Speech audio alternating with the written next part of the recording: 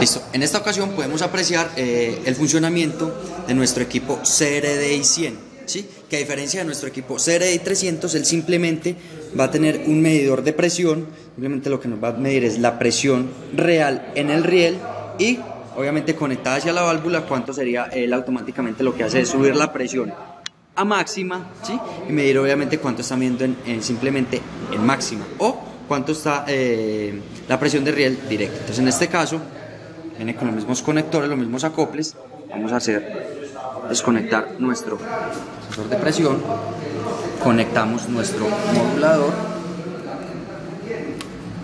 simplemente encendemos, ¿sí? En este momento le vamos a dar eh.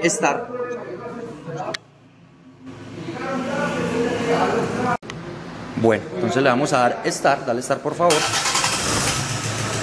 y nosotros acá automáticamente podemos ver cuánta presión tiene en este momento el vehículo en baja. Entonces nosotros vamos a acelerar nuestro vehículo, aceléralo por favor, vamos a acelerar nuestro vehículo, aceléralo por favor. Y al paso que va acelerando podemos ver cuánta es la presión que está enviando nuestro sensor. ¿sí? Podemos ver que está en 500 bares en baja, aceleramos lo que nos va es aumentar cada presión.